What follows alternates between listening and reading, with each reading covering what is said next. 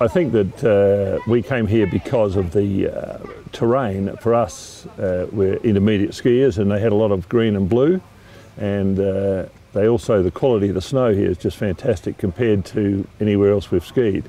You know, the um, interior has a lot fluffier, softer snow and without that wet uh, glug from the, um, the coastal snow, which we're sort of used to in Australia, but we get pretty sick of it. So, you know, the quality of the snow and the fact that uh, the uh, mountain is really designed for, you know, many different types of skiers.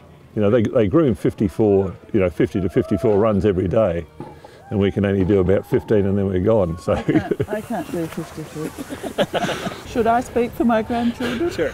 They have a lovely time. They come up here and but they do love ski school and they can go for half a day or a full day and often they'll choose to stay for lunch and ski the full day. And then we ski home with them after that. They come home and they'll have a swim and then we'll often go out after that. So they they have a full day, a beautiful full day.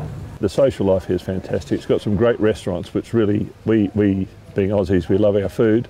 The wine is fantastic and uh, the, um, uh, with the Happy Valley Lodge for the kids being able to tube and ice skate and also with the entertainment down there with the uh, music and uh, it's just terrific. And we, we've found the thing that I suppose surprised us more than is the social life. We've really got to know some great Canadians.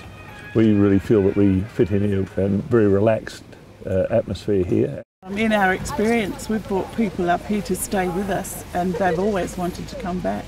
It sells itself really. ready for fun.